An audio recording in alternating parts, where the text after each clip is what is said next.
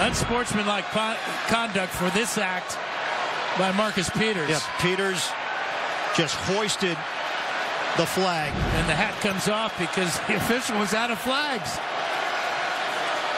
That's a souvenir there. We got holding in the end zone against Nelson. And Peters is being escorted off.